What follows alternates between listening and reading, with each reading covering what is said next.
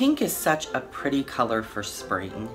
And since our sofa in our family room has the pink floral in it, I wanted to incorporate pink into our spring decor in this room this year. In our family room, we have this vintage secretary that is painted in all white chalk paint. Each season and each holiday, I switch out the backing uh, with wallpaper or wrapping paper. This year, I have chosen a really subtle pink and white striped wrapping paper for my background.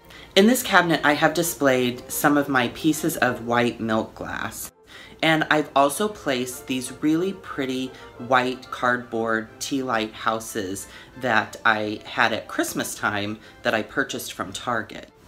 I think the all white up against the pink and white stripe is a really clean, subtle touch.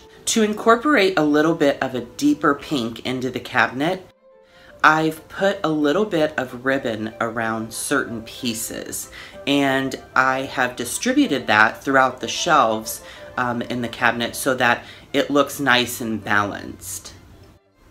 If you're someone who's a collector and you have a cabinet you like to display things in, consider adding some wrapping paper or contact paper to the back to add some interest and color to your decor.